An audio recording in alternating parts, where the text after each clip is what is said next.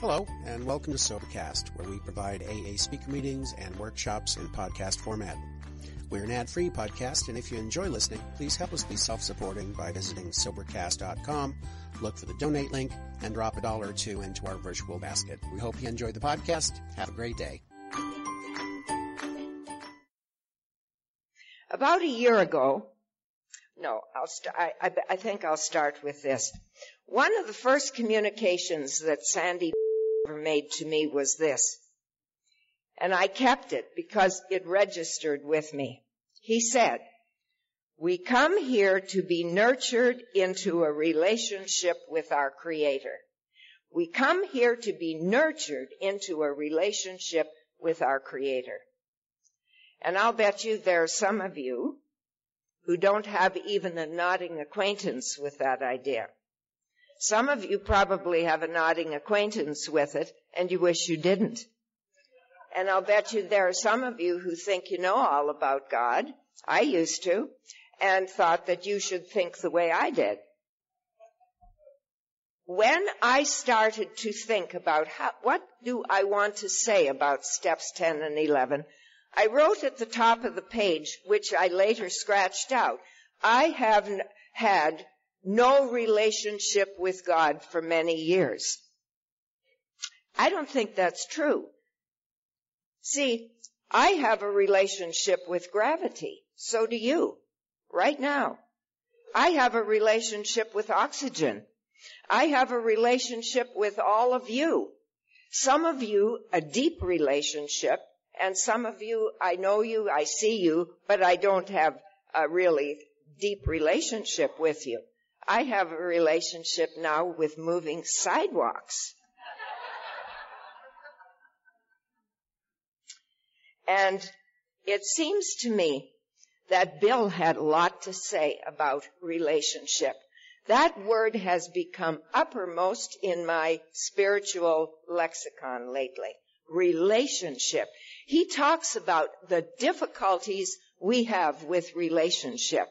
And I think back to the days when Chuck Chamberlain tried to 12 step me and he said, you think, he said, you think that your problem is drinking alcohol. Yeah, he said, you've got problems with that. But he said, your real problem is you think you're separate from God. And there we have that idea of separate separation and dealing with relationship. In this big book in step three, it says, self is the root of the problem. And when I think about my relationships, every time anything goes wrong in a relationship, it's always about self. And I think that what steps 10 and 11, particularly 11, is really about is what it says on page 164. See to it that your relationship with God is right, and then great things will come to pass. It doesn't say with the boss, with your lover, with your spouse, with whoever. It says, see to it that your relationship with God is right. I used to interpret that to mean, see to it that you're following the dictates, the dogmas, the prescriptions of a church. I don't think that's what it means. And over the last years, my relationship with God has changed drastically. And so I'm very happy to be here to share that with you. About a year ago, uh, I went to, I was invited to speak at a place called Waterdown, Ontario. And uh, I, a couple of the young ones from my group came with me. And after the meeting was finished, I said to them, you know, the convent in which I lived for 15 years is in this town. Would you like to see the building? And they said, oh, yes. Now this is a huge building. It's built much like, it looks a bit like Buckingham Palace. So we drove out there and it's now quarter to ten at night. And as we drove, I saw that the night watchman came to the door and I was just going to drive away and I thought, no, they might think somebody came to do some harm. So I got out of the car and I went to the door and I said, could, uh, I said, we came not to do any harm. I said, I'm just showing these young people. I used to be a nun here and, um, I just came, brought them here so they could see where I was. He said, well, I'm sorry, I can't let you in, but he said, give me your name and I'll tell Mother Superior that you were here. Good enough. I walked back to the car, just a few steps, and by the time I got to the car, Anne was saying, there's somebody at the door. somebody at the door in a fuchsia suit waving us in. And so there, there was one of the sisters who had come by. And so we went in and I said to her, I brought these young people and I said, would it be all right with you? Could we possibly see the chapel? Oh, yes, she said, absolutely. I'll be happy. So she bustled off and put the lights on in the chapel, and I took these two young people up there. And I mention that because it was a real spiritual experience for me. I hadn't been up there for a long time, but it was a real experience of that was then, this is now. And as I stood there, I was reminded of the day I went there drunk as to enter the convent and they took me and how I stayed there for 15 years, drunk most of the time, and the experiences that I had there, and that that experience couldn't fix me, and who I am today, and I could understand that I had truly been transformed. And I came away from there after having a little conversation with this little lady in the fuchsia suit because I, when we came downstairs, um, I thanked her profusely for letting us go up there. And um, she said, I don't want you to go yet. She said, I have something I want to say to you. I think she's probably about 90 years old. And um, she said, that AA that you belong to, she said, that's really something. I said, and how would you know that I belong to AA? And she said, I have a brother who's in AA, and he let me listen to one of your tapes. And she, and she said, I want to thank you. I said, what for? She said, you spoke so kindly of the convent. And she said, we listened to your tape. And she said, we really appreciated it. I had nothing, no reason not to speak kindly of the convent. I had a great experience there. I mean, where wouldn't I have a great experience if I could be drunk all the time? I had a great experience there because uh, I had the privilege of meeting a lot of wonderful people. Uh, we had a wonderful library there and wonderful scholars came by and I got to spend time with them. There were wonderful people in the convent itself. I got a great education there. And above all, I got nourishment. And when I went into that chapel, I was overwhelmed with love and gratitude for my life, for everything that has happened. Because what I remembered was particularly the uh, organ. I became a musician at some point and of all the things that I love and of all the things that can make me feel holy, it's listening to beautiful organ music. I love the organ music. I love the hymns. I love the, especially some of the classical music. And so just being there just reminded me of that. I've lived most of my life in my head. Music takes me to the heart and all the hours that I spent playing the organ in that beautiful chapel just washed right over me again. So there was that aspect of nourishment. So I guess I'll just go on. I want to talk, I'm supposed to talk a little bit about step 10 uh, before I get to step 11. I think I shortchanged myself on step 10 because I, I don't know. I looked at it kind of as an inventory and I missed what it says.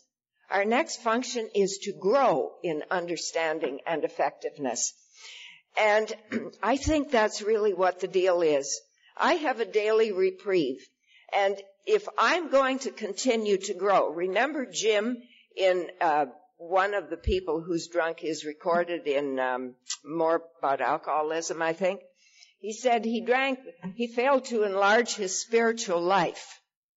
And so it says here, my next function is to grow in understanding and effectiveness. And you know what I have learned over the years is that, you know, we do steps one to nine. We learn those principles. We learn how it is that we are to be on the planet. And then we get to step 10. And now they put me out into the real world and now I have to apply those. And you know what I remind? It's kind of like an apprenticeship. you know, you go to school, you become an apprentice, they teach you things, and then they send you out to apply it in the real world. I once took a course in conducting. And I remember the professor who taught us the various things that we had to know. And we all seemed to really know what we were doing, what we were talking about. And then the day came when he said, I'm bringing a group of students to, to the conservatory. And now you're going to conduct. And I can tell you that going from sitting in class, learning principles to putting it into practice, that's where I started to grow as a conductor in the, through the mistakes and through the experiences. And I think that's how I grow. I love the piece too where it says, I need to have a vision of God's will for me.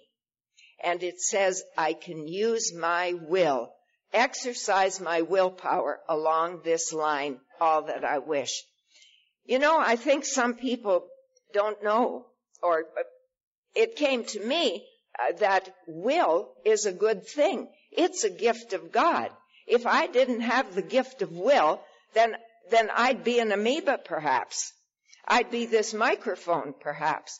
But I have the gift of will, and it is that which gives me the capacity to make my choices. And I really believe that being able to make choices is a big deal.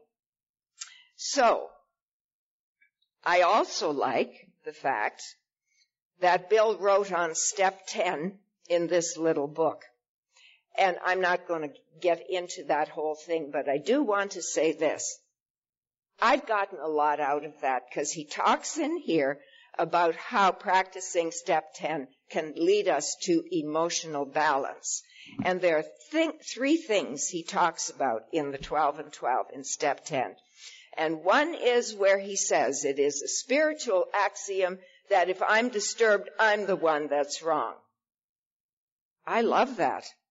Didn't when I first read it. Love it now because it frees me from having to change you. I have it in my capacity to do the work so that I can change. I don't have to wait for you to do what I want. And then the, the second one that I like is he talks about the development of self-restraint. I'm going to tell you, I have never ever been sorry for shutting my mouth and keeping it shut till I can think. I have always regretted opening it. And the third thing he talks about is the examination of our motives. You know, I missed that for years. And I think of those three things that I really like from the 12 and 12 in step 10. That business of examining motives has been a real gold mine for me. I sometimes think that I, my motives are pure as the driven snow.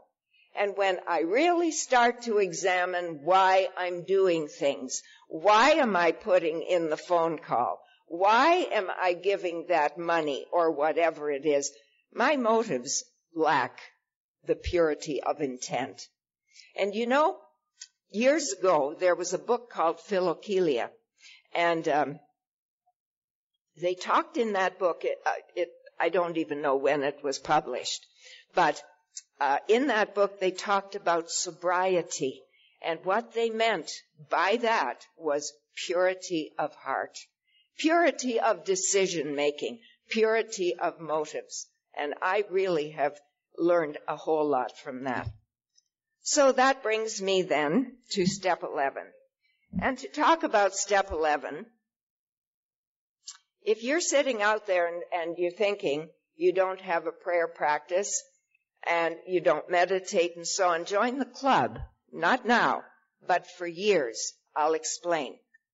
When I was a little girl, uh, I was born in Saskatchewan, just as you pronounced it yesterday, uh, my friend. And um, we were Roman Catholic, and there were ten of us in the in the family. Church was a part of the fabric of our existence. Maybe it was the whole fabric. Going to church was part of the way we did things. There was ritual, there was dogma, and there were requirements. And it was assumed. We lived in this, knew everybody in this 20 square mile area, and it was assumed that you'd be at church on Sunday, and that you prayed and that you did the requirements and so on. Nobody questioned that. I was okay with that. That's how I was raised. And then at about three, something happened. I don't know how the chron- chronology of that works, but I know that about three, because I've checked this out with my brothers, at about three, somebody started crawling into my bed and she was crying. My sister Dora, and if you know me, I've, you've heard me talk about this. Dora was injured at birth. She couldn't study as quickly as the other kids. They kept her in grade three till she was 16. The kids made fun of her and she cried at night and she'd crawl into bed with me and I'd cry with her. And I made it my business that this had to stop, that she had to get fixed. Somebody had to fix it. I went to this family that I was sure loved me and they didn't fix it. And I thought they didn't because they were hard hearted. Not true. They didn't fix it because they couldn't. And then I went to God. I was not raised in a church where people said that God was mean. I was raised, I heard, I think, the priest say that God was love and power. Well, those great qualities, here I am, God, fix this problem for me. And nothing happened. And I remember sitting on the woodpile. I started to drink when I was five. I remember sitting on the woodpile with my cup of home brew, thinking about God, looking at the sunsets, looking at the aurora borealis at night, looking at the stars in the sky, and saying, God, how is this? You make this and you can't fix my sister? What's wrong with you? How does this work? I didn't turn against God because I don't know, maybe I'm an old soul. I'm a God seeker. I was even as a little girl. Somehow or other, I felt that the answers would come from God. God as I understood God. I said at five I took a drink. I was an alcoholic from the word from the first drink. I'm not going to regale you and take the time to recount how I got to a park bench. You have heard this from speaker after speaker, but I can tell you in 35 years, that's where I was. I didn't have five cents to my name. I didn't have a friend in the world. I was selling my body, living on a park bench. That's where my experience of drinking, I needed to drink because that's the only time I felt okay. I was a smart kid, but I didn't fit. And so the only time I felt okay was when I had booze in me. And when you're five and six and seven, on a farm, you drink different than you do when you're 25 in the city. But nevertheless, you get the job done. I lied, I cheated, I stole, I did everything I could to get that booze into me as often as I could. My parents sent me to a finishing school, a convent, and um, very, I was there for four years and I finished my schooling at, I was 14 and a half. Well, what do you do with a 14 and a half year old? Number one, my, I wanted to be a lawyer. I realize this now. I didn't go partly because of age, but partly because I was afraid. I was afraid of life. You know, this program has given me so much and it's taken some of that fear of the world away. You know, if you think that people aren't going to help you, I had proof. Dora was crying. You didn't do anything about it. How can, what's wrong with the world? I'm going to go to the big city and if I get a problem, who's going to help me? John wasn't around in those days.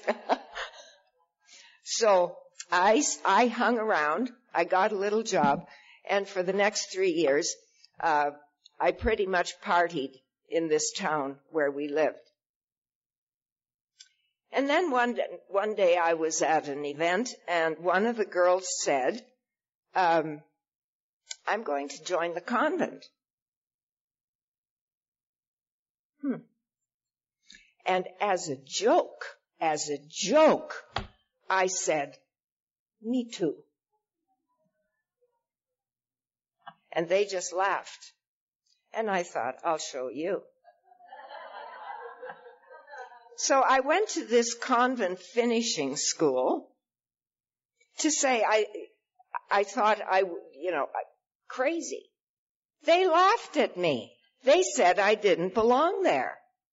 Well, there was another convent in my hometown and you tell me I can't do something and now it was becoming big stuff. I went to the second convent and they said no, they wouldn't take me. And I went to our pastor and I said, what is wrong? I said, I thought they would like to have people like me in the convent. And he laughed. That did it. I knew there were convents and that were swinging convents. And I knew where they were in the United States. Doesn't everything swing in the United States? So finally, I got a letter back from a convent in Baltimore and they said, we have a convent in Waterdown. And so I wrote to them and sight unseen, they invited me to come and join the convent. Nowadays, if you tried to get into a convent or a monastery, you would do so many psychological tests to avoid getting the likes of me in there. In the, that, that night, I was drunk the night I entered. They took me and, uh, for the next 15 years, that's what I did. Uh, I worked hard, went to university, taught school, played the organ, did all kinds of great things. And in those 15 years, you know, and when you are in an environment where nobody is drinking, and you're drinking, pretty obvious, I would think. But it's also something when you function, people kind of see things different. And I functioned too much sometimes, but I function. And so nobody in those 15 years ever said anything to me. And um, we got new Mother Superior who was really enlightened. And one day she called me and she said, Sister, I think you're not happy here.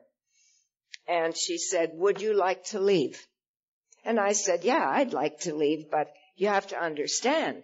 In those days, we were told there was a heaven and a hell and that if you were allowed to take vows and you left, you were endangering your immortal soul. Now, I'm sure some of your eyes are glazing over at that, but that was a big deal for me because I didn't know what to make of all that. Anyway, eventually we wrote to Rome. I got my dispensation January the 10th, 1966. I'm standing on the convent steps and everything's good. I'm okay. And uh, I know that some man is going to find me and we're going to be okay. I no longer had the vows. I had trampled on them a little anyway from time to time. Uh, I had lied and cheated and stolen, done everything that I needed to do to stay appropriately drunk or stoned.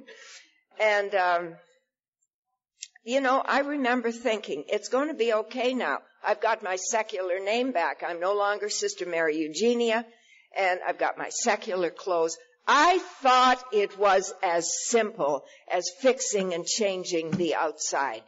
I was a well-educated young woman and I didn't have a clue that the problem was right in here. And you can fix the outside. You can make it look like whatever you think it should look like. And nothing has changed. Within two days, I found the bars. I loved the bars. I loved the booze in the bars. And I loved the men in the bars. And the men in the bars loved me. And I have to tell you that I spent 10 months in, the darkest, most ugly place. I always say it was 10 months of darkness and debauchery. And I, at the end of that time, I just, I, I couldn't stand myself, so I signed myself into an insane asylum. And somebody had told me about a psychiatrist who was there, so I signed myself in. My family had a private detective find me and they took me to Saskatoon, which is where I was to meet Dr. Abraham Hoffer. I was in the university hospital for six weeks and one day I was called to Dr. McCarriker's office and Dr. Hoffer was sitting there and he had my file. By this time, I had been locked up in psych wards 32 times. I had had 38 electroshock treatments, and that will light up your life appropriately, I can tell you. They used to put me in cold water baths. They used to tie me to the bed when necessary, and it wasn't for fun and frolic, believe me. And um, I'd had hundreds of hours of therapy. But the therapy was always about you, how you had made life difficult for me. Anyway, Dr. Hoffer looked at this and he said, he said, I know people who I think have the same problem that you do. He said, I don't think you have all these psychiatric illnesses. He said, you're alcoholic and you should go to Alcoholics Anonymous. Now, in that office at the time was sitting Dr. McCarricker, who was the chief of staff, and he said, Oh, Abe, he said, we can't let her go to AA. It would interfere with her program, with her treatment. Abe won out, and I went to AA. I don't know nothing from nothing. See, I have a brother who died 49 years sober. And I remember when he got sober and I remember what my dad said about AA. He said, it's good. And he cried. He said, our, he said, my son no longer drinks. And he said, he has been transformed. Now, from my dad, that was about as good as it got. Transformed? I want some of that. But I didn't know. You see, up to this point, I had lived my life on the outside. I knew nothing really, despite all that fancy therapy, about how I truly function. And despite the fact that I'd been in a convent, the only things I knew were the things I'd studied in theology. I could tell you all kinds of fancy things about the Trinity, and I could explain the transubstantiation to you, and I could tell you all kinds of things. I had nothing going on in my heart, and I had no feeling or no sense of a relationship with God. And so, uh, I went to, went to AA, and I didn't know that there was something I was going to have to do. My dad said it was good, so I'll park myself. I parked myself for three weeks and nobody had transformed me. I didn't feel good and I know how to feel good, so I got stoned and I'm not going to drink because my dad said this is a good place. Five and a half years I sat here. That's when I met the likes of Wes Parrish, Mac Cheater, Chuck Chamberlain. Chuck used to sit with me Time after time he'd come to Prince Albert and he'd sit with me and he'd talk to me. And I remember that little diagram of the circle. There is only one. And then he'd draw that and he'd say, you think you are different. You think you're separate and so on and so on. And you know, I'm sure he saw my eyes glaze over. Three weeks went by and I helped myself to what um, Mari so charmingly calls yum yums. And I also liked the Jolly Jumpers, which were my favorite. And uh, so I sat in AA stoned for that five and a half years. And one more time, I'm the loser. I left AA. I thought, you know, this, nothing works for me. Nothing works for me. I am the loser. And within a day I was drunk. I jumped out of a two-story window, broke my feet, and from there it just gets worse. Six convulsions later, DTs. I couldn't stop. I had nothing to stop for as I saw it. I didn't know how to live sober. I had never accomplished it. And despite all my fancy education and despite all my accomplishments, I went to a park bench. I should tell you I had married my psychiatrist. Not Dr. Hoffer, by the way. I married another guy. And he too was alcoholic. And uh, he started to drink and I started to drink and we lost everything. And when I say we lost everything, I mean exactly that. So we split and I wound up on the park bench and the police picked me up on May the 18th, 1973 and they took me to a psych ward. And I couldn't move. I used to get paralysis. The morning of the 20th, the nurse took me to the washroom and I saw myself. Teeth knocked out. I weighed about 85 pounds and uh, hair straggly and a mess. And I said to her, I've become a woman of the streets, haven't I? And she said, yes, you have. Just think of that. I come from a family that was as decent as they come. A family where people valued integrity.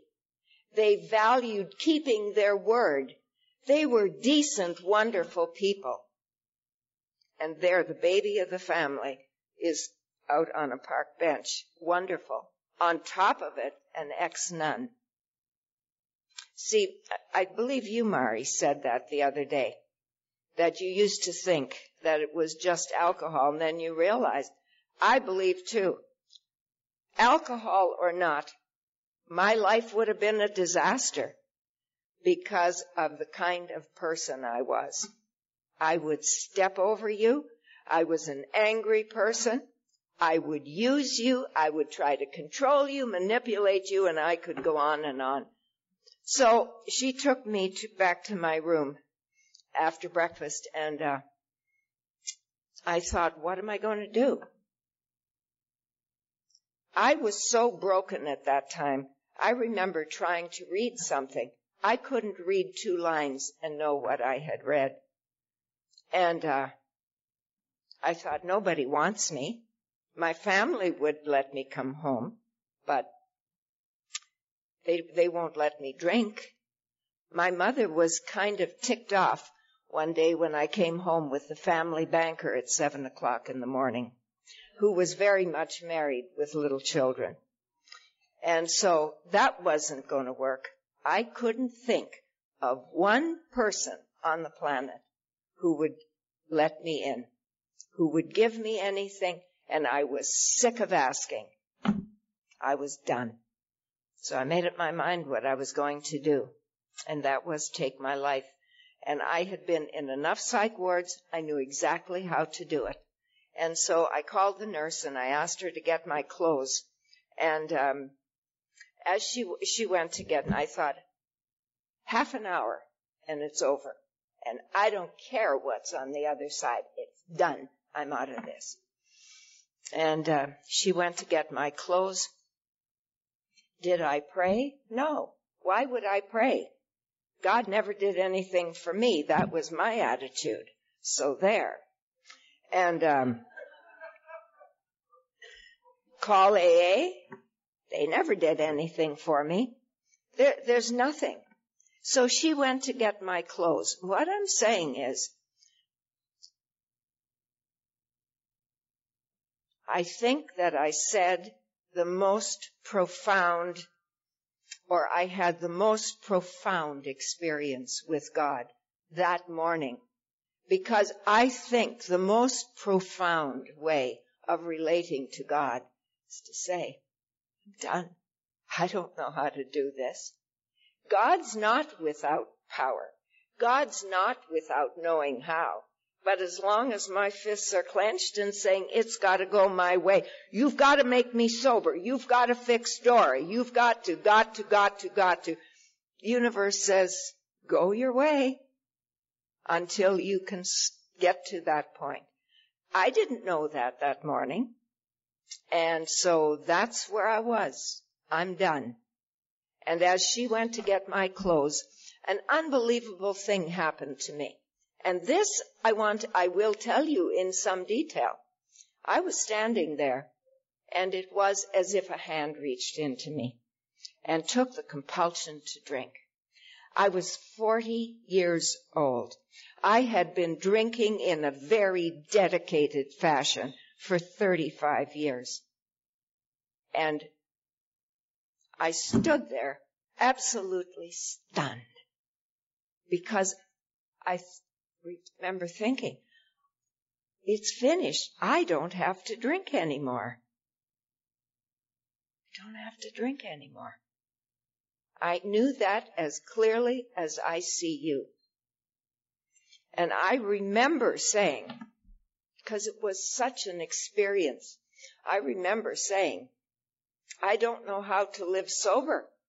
Whoever you are, whatever this is, you'll have to send me somebody and if you do, I'll obey. And by God, there was a rap on the door. And a man stood there, and he really was there. And he said, I came to offer you some help. He said, Are you alcoholic? And I said, Yeah, you want to make something of it? Kind, kind man. I've told this story hundreds of times. I still hope that one day somebody will step up and say, I was that man. He, he said, you know, if you're alcoholic, he said, I'm not alcoholic.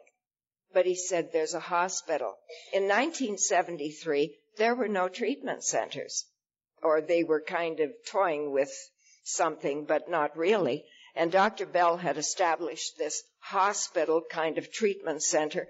And, uh, he said, I'll take you there tomorrow if you'll go. And he took me out of the kindness of his heart. Nurse talked to me, said, you need treatment, you have no money, can't keep you. I'm crying as I'm leaving, and I hear this big voice say, keep that woman here. Give her a bed now. And it was Dr. Bell himself. And so I stayed there for 28 days and um, went to Skid Row from there. I lived on Skid Row for a year. Isn't it nice that I can say I can go to Caesar's Palace to my favorite shop and buy a new suit if I so wish? That's not the essence of recovery, but I like to know that nice things have happened. That day I didn't, I did, all I could afford was what they gave me a little money and I lived on Skid Row and there was a psychiatrist at the, at the institution and he said, get a job. And what I did was I went down Yonge Street and I went down Dundas and I pounded on doors and I said, I need, I need to work. Can you give me something to do? I'll wash dishes. I'll do anything. I had to be broken. I had to be broken open. And I just did what I was told. And after a day and a half, a man said, I've got a factory. And if you'll come, he said, and sweep the floor every day, he said, I'll give you a little money. And that's how I lived the first year. I was hungry some of the time, didn't have enough money to buy food. I didn't know about welfare. And I was raised in a family that said, you make your bed, you lie in it. I made this mess, I'll get out of it wasn't going to AA, not to that stupid organization. And um, so I'd go back to my how I survived. I, you know, that's a grace in itself. Six months go by, and I'm at the institution one day, and a man asked me to a meeting. I didn't know what it was. I wasn't getting many invitations, so I went with him. And it was a meeting of AA. And I don't know what happened there, but what I do remember is this. People were smiling. They seemed to be standing in groups. They were talking to each other. They were planning to go to lunch and things like that. And there was, uh, there I was. And the amazing thing was they said, keep coming back. And I remember thinking, why do they want me to come back? But I did go back and I fell in love. And that has been my saving grace through all the days of kind of shutting God out, through all the days of self-sufficiency where I didn't think I needed this and I needed that. I got in the middle of Alcoholics Anonymous. My first sponsor got drunk and then I got one with a size 15 shoe and I hope Larry isn't here. He didn't hesitate to apply it to my backside. He didn't care how I felt. He said, you want to get well? I'll give you, I'll give you the pattern. We'll do it together. And he said, if you don't want to follow instructions, don't call me again. Get another sponsor. And so this man now is 55 years sober. In September, we just celebrated his 55 years. And we celebrated three weeks ago his 65 years being married to the same woman. And he knew how to live. He knew how to live and he knew how to deal with me and he put up with nothing from me. And so I got to pay off the debts and I'm going to go over this quickly because I want to get to being 20 years sober. And um, at seven years, I had paid off the debts and um, had no money, had a rusty old car, was sponsoring a lot of people, and the people at the group used to call it my sponsor mobile. They'd all, all my sponsees pile out of this rusty car. Interestingly, they all got drunk. I stayed sober. I did the best I could, you know, with what I had at the time. And uh, anyway, I don't get anybody sober, so that's nothing to worry about.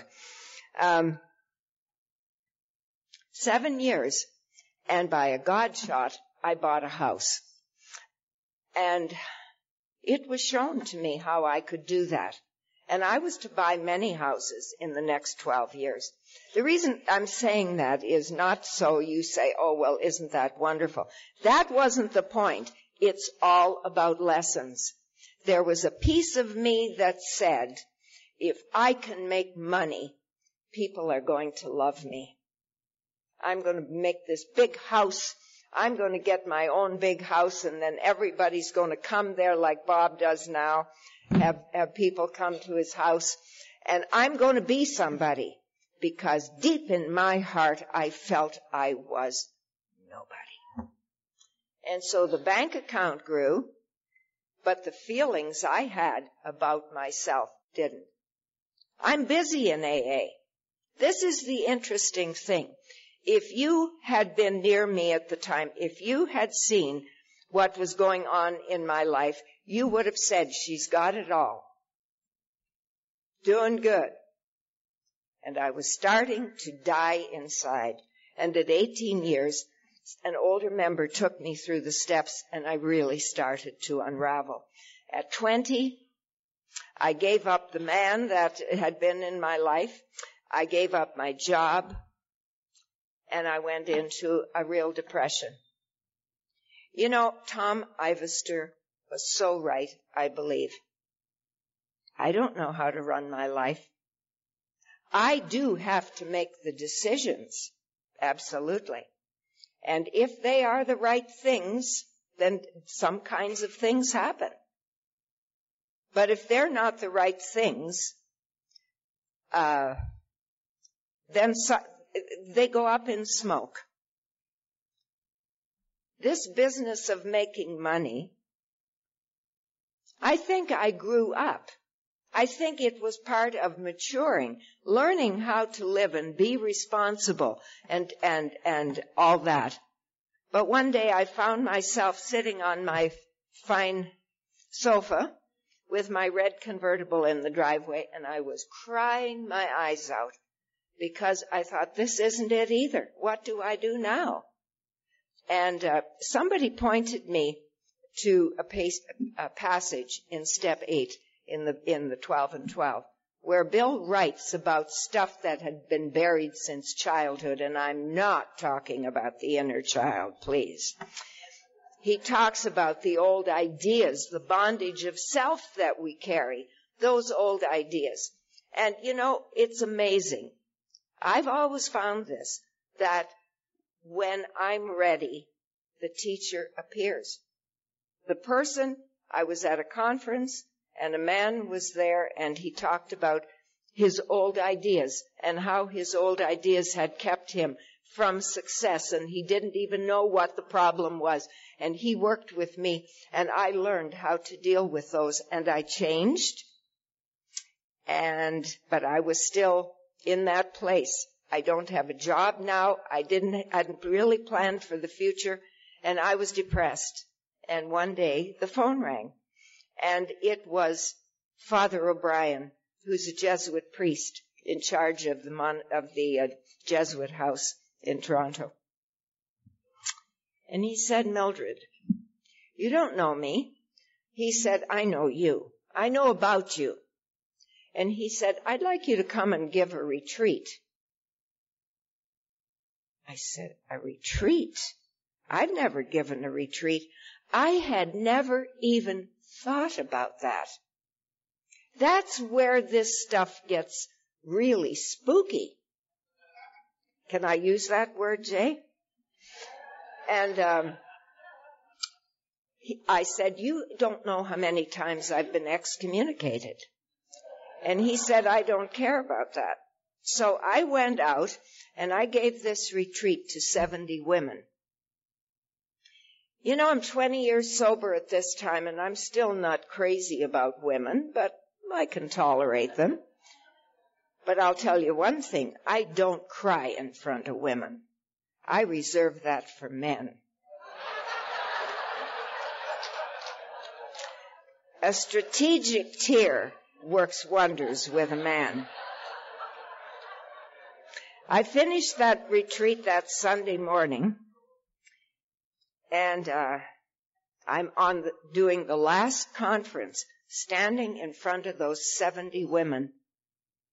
And I had an experience that I believe is as significant as the experience of May the 20th, 1973. I stood there in front of those women and I started to bawl. I didn't cry pretty like they do in the movies when their makeup doesn't run and, you know, their face doesn't get, I bawled. And I said, and I hadn't planned this, where does this come from? You know and I know. I said to those women, I am the loneliest person in the world. I have lots of acquaintances and I don't have one friend. And that was the truth. That little girl who felt so hurt by the fact that her brothers and sisters didn't fix Dora. Put up walls. Put up walls against all those people who hadn't loved me. All those people who didn't do it the way I needed you to do it. Those walls were thick. And as I said that, I, I haven't got the words. I can just say it as best I can. It was as if it felt like whoosh, and all those walls were gone. And I remember standing there thinking, I don't know how to live like this. It's like being a chicken without feathers. What do you do? See, I had always presented an image, a face, a way I wanted you to see me. And you wouldn't get past that, I guarantee you. If I didn't want you to see something else, I'd shut down. And you knew that I had shut down. And people would say, you know, you intimidate me. I was sick enough to think that was a compliment. What they were saying was, I can't deal with you. You won't let me in. I didn't know what all that meant. And I was 60 years old at the time, and I was 20 years sober. See, I don't care where you're at. You are the only place you can be. You know, people can't grow you. I believe that God grows our souls. Just the way God grows, we plant the seed and we water it, but we don't grow a carrot. That life force is within that seed. And it's the life force that shows up in the form of whatever. And I'm not going to apologize. I, like I, I sometimes I've thought, I wonder what people are going to think of that. Well, whatever you think is your business. I just know that I did the best I could. And I think that, like Sandy said, we're here to grow in conscious contact with God. And that's the process. And in the process, everything that stands between me and God has to go. And you know, sometimes when I've talked about this, people say to me, can you help me get rid of my walls? Not a chance. Not a chance. Because if you've got walls, they're there for a purpose. And if somebody tries to muck around with those walls, you've got to live without those walls. I was ready, and when those walls came down and I stood there defenseless, that was a God deal. And those women gathered round and said, you know, we'll, you know, we'll meet for coffee and so on. And my life changed. That's when I began the process. See, it always feels to me as if from from get from May the 20th, 1973 to this day, and I don't know what date this was, that was a process of, of growing up, maturing, learning how to do some things, developing some good habits. And now I was ready for the next piece. And that's exactly what it was. Because as I started to relate to you in a truthful, honest, open way, I found out something about you. I found God through that process, God in you, but I also found God in me. And that's where the, this next phase of my growth started. Because I think that is really what, what it is all about. And that's when I knew I had to meditate. Now, don't go off into cuckoo land and think, oh, we're going to talk about, you know, meditating and singing Om all day. I don't think that's what it's about. I think that I'll trust Bill when he says here in the 12 and 12 that prayer and meditation are the principal means of conscious contact with God. Sure, I've got to go and do, I've got to be busy. But I think I need to grow in awareness and uh, with the God of my being. I didn't know any of that. I was always busy, busy, busy, busy, running, running, running, doing, doing, doing. And the more I could do and the more I could get, that's what I thought the deal was about. And I don't believe that now.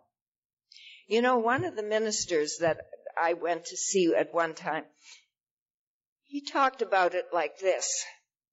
He took two candles, and one had a wick and one had no wick, and they were the same size candles.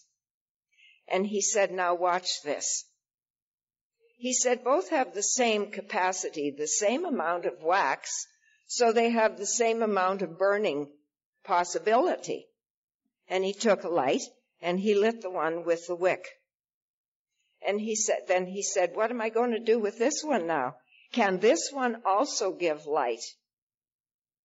Obviously it had no wick. He said, that's why you need to meditate. You need a wick. And the wick that you develop is through your relationship with God. Pascal, one of the great French philosophers, put it this way. He said, God's voice is the voice of silence. And in the Bible, it says, be still. It doesn't say be quiet. It's still. Still is much more profound than quiet. Be still and know that I am God. I can't tell you. I, just knew that there was more.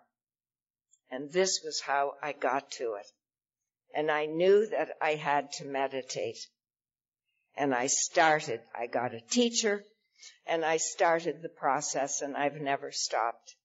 And right now, if you want to know, because sometimes people say, well, how much do you meditate? Well, I meditate a half hour in the morning and I meditate a half hour at night, at least, and sometimes during the day. And that doesn't take away from my efficiency. Actually, it adds to my efficiency. It gives me a, a quieter mind. Even though I did that stupid thing on the walkway the other day, generally, I'm much more observant about things. And um, people in Toronto will comment on this often. They say, Mildred, you have changed so much. You used to be so hard. You used to be so difficult, even though you were kind. See, I lived up here and I knew how to act as if I cared. I knew how to act kind. I knew how to act compassionate. I knew the words to say, but there was no wick in the candle.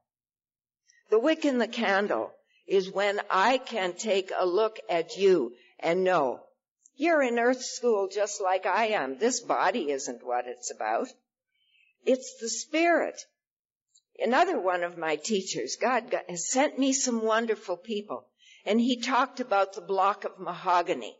And he said if we have a block of mahogany and we take that and we carve a figure out of that, he said, do we have mahogany and a figure or do we have mahogany in the form of a figure? Well, obviously we have mahogany in the form of a figure, right? He said, you know, your book says if God is, either God is everything or God is nothing. And if God is everything, then what are you made of? What is your spirit made of? See, I, I think that I need to take, be vigilant about where I put things, where I become unkind, or where I do things that are not godlike. But I find that I am much healthier through remembering who I am rather than the crap I do. You know, because what you focus on grows. You keep on focusing on, I'm so mean, I'm so nasty, it just grows. I can tell you that when I remember, I believe today that God lives within me, that God is my life. And that if that is the case, it's shut my mouth many a time because that's not the right way to be speaking. That's not the right way to be acting. And I think that's the change that will, that, that's the difference that will make the world. Look what Bill Wilson said. I too go to stepping stones. They don't give me the stuff they give you, Jay, but they do give me some nice stuff. And one of the things Bill wrote in 1956, February the 16th, we certain, this was 1956. I wonder what he'd say today.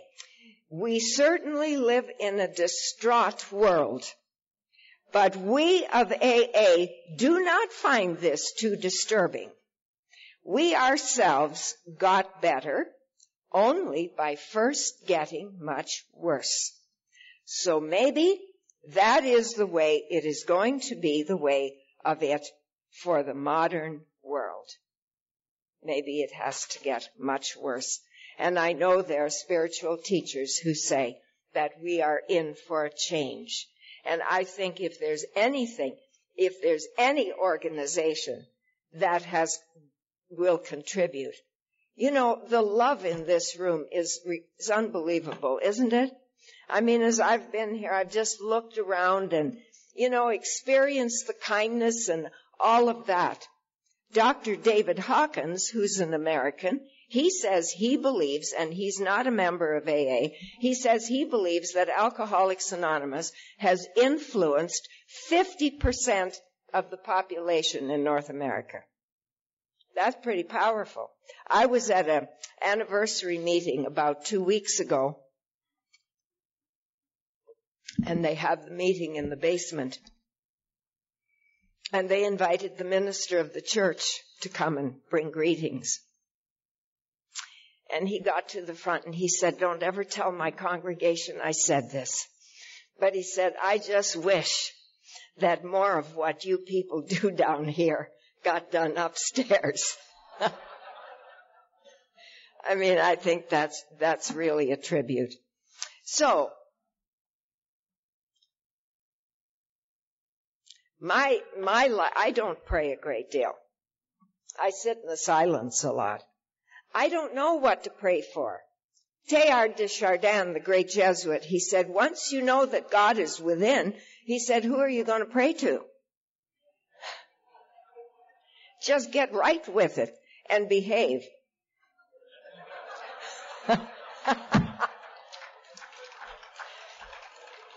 yeah. I want to tell you two more things. You know, uh, I love the way I live now. I love to know that I can, I can brighten somebody's day. So instead of just going and giving the cashier my credit card, I like to think before I go. That's a God being there. You're there, God. And say to her, how are you doing today? the day getting long, and often you just see the face just, just light up. And the world in that place is just a little lighter because I've taken the time. And I, please don't, I've been such a jerk most of my life. I just love acting like this now. And, you know, I, I, I used to just kind of look at people and think, I don't know them. It wasn't I didn't like you. Yeah, I did not like you a lot. But that has changed. I used to even sit at the meetings. We have a slogan at the meetings that says, um, we are no longer alone. And I hear people come in and they say, you know, I just knew the first time I came into the meeting, I'm no longer alone. I think, well, bully for you. I've been here 20 years and I still feel alone. But I'm starting to feel a little different about that. I've got some amends to make. You know, I slighted my family. I didn't love them. I didn't appreciate them. And you know, seven of my brothers and sisters are dead now. And, uh, so I'm in the process of making amends by getting to know my nieces and nephews. I've got 35 of them. And I've been reaching out to them and you know what? They've been reaching back. They're really happy to get to know their Aunt Mildred. Great life. I'm a different person in AA too. And um, another little thing that I have here from Bill. He says this. He wrote this to a in a sympathy letter. I won't read the whole thing, just a, a statement. I am glad Bill was nuts. I'm glad that he wrote that article on emotional sobriety. You know, where he says he couldn't find peace, he couldn't find happiness, and he realized it was his dependence on people, places, and things. And in this article to this woman, and again, this was 1956, I'll just read you a sentence or two. Some people think God made life just for happiness but I find myself unable to share that view. I think he made life for growth and that he permits pain as the touchstone of it all. Happiness, at the very least satisfaction, is a byproduct of really trying to grow, and seasons of real joy are occasional byproducts of the process. I'm not recommending being cranky or being unhappy, but I also know, I think one of my students from Florida wrote me an email recently and she said, I'm having trouble living in a three dimensional world with fourth dimensional truth. Me too. Big job, eh? This business of living on the earth school, it's, it's a challenge. I need you. That's why I'm here. And I'll be here till the, the day I die. And I'm going to close with a story. I love paradox. I love metaphors. I love pictures. I love all that stuff. And somebody put into my hands a book called Tales of the Magic Mountain by Theophane the monk. And it's filled with stories that you say to yourself, what the hell is he talking about? This man went to the monastery and he said to the head monk, I want to be a monk. And the, the, head monk said, what kind of monk do you want to be? He said, I want to be a real monk. And so the head monk took a glass of red wine and he gave it to him to drink. And he drank it. And as he did, a crystal globe formed over the monk. And he, all he could see, this ordinary person that he had seen before, now looked indescribably beautiful. And he said to himself, I wonder if he knows how beautiful he really is. Maybe I should tell him. And as he tried, he realized that in the drinking of the red wine, his tongue had been burned out. And he said to himself, Oh well, I have the memory of what just occurred. And as he went his way, he realized that as he chose to look into, through that crystal globe, anybody that approached and came into that crystal globe, obviously meaning his willingness to see the divine presence in them, he saw them as so incredibly beautiful. And he knew that it was real. If nobody has told you today, if nobody has put you in the golden globe or the crystal globe and told you that you are incredibly beautiful, I'm telling you now, you are incredibly beautiful. And my heart is open to you. And I thank you for your kind attention. God bless you.